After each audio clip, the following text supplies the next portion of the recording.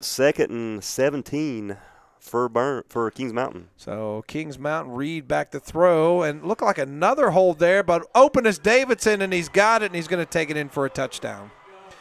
It looked like maybe there might have been a hold, but not called, and that's going to go in the books as a 65 yard touchdown. Reid to Davidson.